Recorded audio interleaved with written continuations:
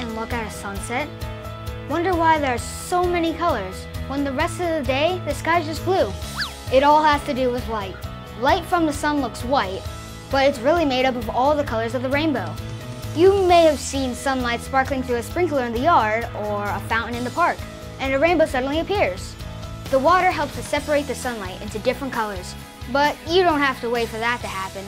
To see all those colors, take a prism, especially sage crystal, and shine light through it.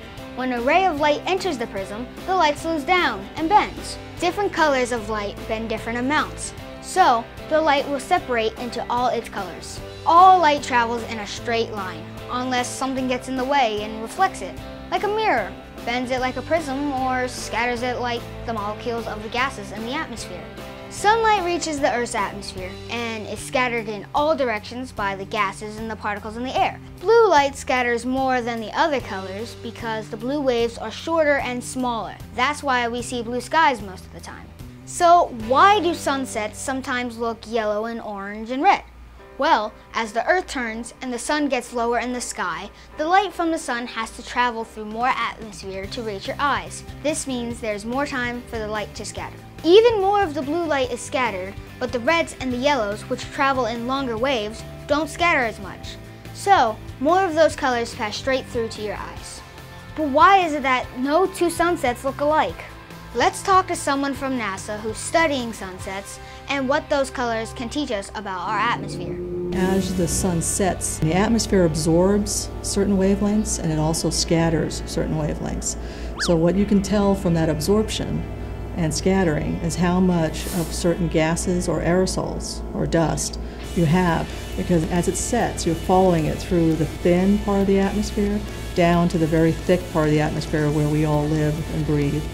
And so you can actually see a beautiful profile of aerosols and gases, water vapor, and ozone. So you can tell where in the atmosphere those are most prevalent or most, you know, the, the greatest amount of that resides.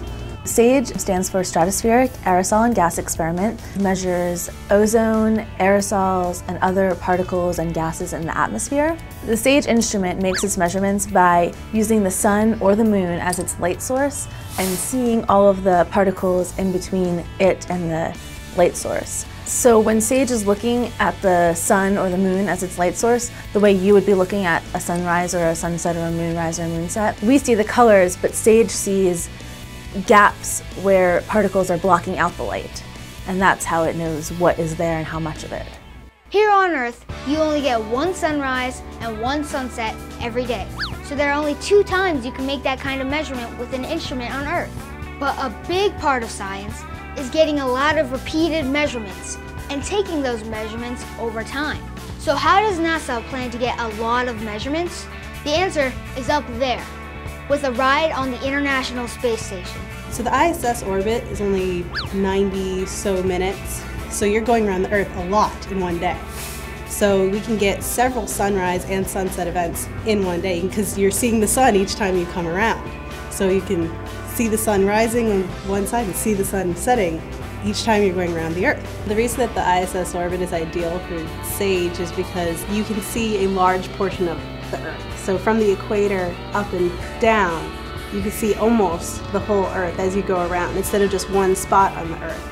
We want to have these SAGE missions because we want to be able to learn more about the air that we breathe and be able to take better care of our atmosphere and our Earth. These SAGE missions are continuous over a long period of time and having that long period of data about ozone and aerosols gives us a better understanding of the big picture. This is one piece in the puzzle of understanding our atmosphere. So now you know why sunsets can be so colorful and how NASA is using SAGE 3 and the International Space Station to help us learn even more about our world.